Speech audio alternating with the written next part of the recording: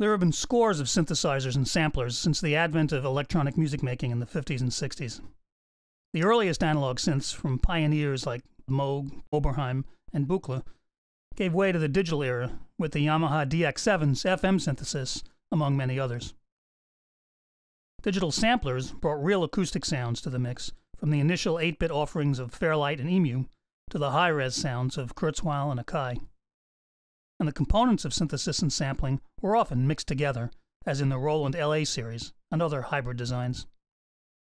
Of course, with the transition to virtual instrument plugins, all of these designs are now available, from faithful replications of vintage hardware to modern synths and samplers that go well beyond what could ever have been done outside the box. So it must be a daunting task for a company to come up with a new instrument, something with its own unique voice and approach, It'll be more than just a reworking of traditional designs. Well, iZotope has done just that with Iris 2. iZotope is well known in the industry for their software processing, which ranges from mixing to mastering to audio repair.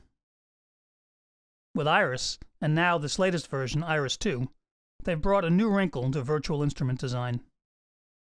iZotope took their spectral processing software from their RX audio repair suite and incorporated this powerful sound shaping tool into a hybrid synth sampler virtual instrument. Iris 2's spectral filter offers the user the ability to dig into an audio wave with tools probably more familiar to graphic artists and photo editors, and literally draw in changes to the sound, down to the harmonic and overtone level. This makes it a breeze to create and modify sounds in ways that would be difficult, if not impossible, with traditional sound shaping filters. But they didn't stop there. Besides the unique sound shaping capabilities of spectral filtering, Iris 2 has a host of sophisticated synth processing, including a wide range of traditional filters, envelopes, and powerful modulation options.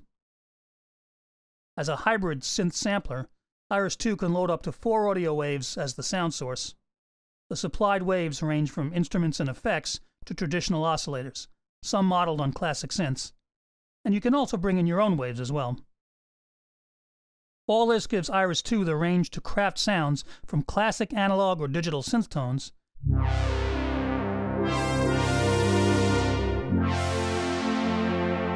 to shifting, spectral filtered sounds that run the gamut from ethereal to edgy.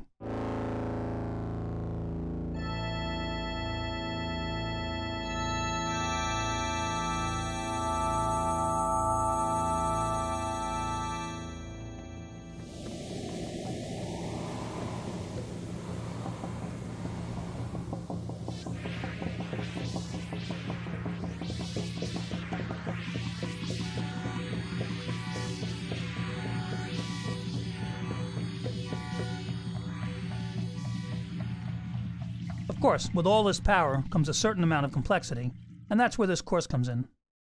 After a very brief primer on traditional synthesis, I'll cover the specific architecture of Iris 2 in detail, the component parts, the layout and signal flow, including the various modulation options, and, especially, the unique possibilities of the spectral filter.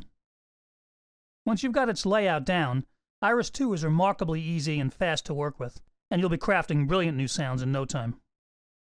But before I jump into the deep end with Iris 2, for anyone who might welcome a quick overview or refresher on basic synth and sampler architecture, the next video will be a brief primer in synth and sampler basics.